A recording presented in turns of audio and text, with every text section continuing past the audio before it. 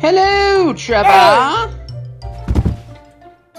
So then, dear Trevor, did you perchance happen to get my iced cream? No? Well then. It's time for the punishment. Ah!